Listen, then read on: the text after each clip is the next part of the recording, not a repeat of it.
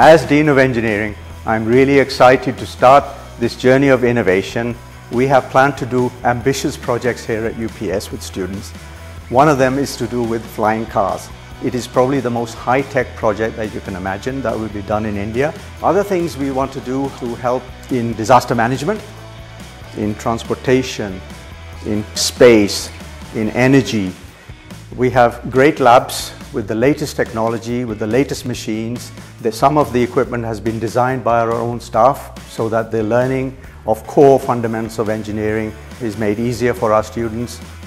To make the great engineers, we teach our students core theory, practical knowledge through labs, and then work experience through internships and other projects.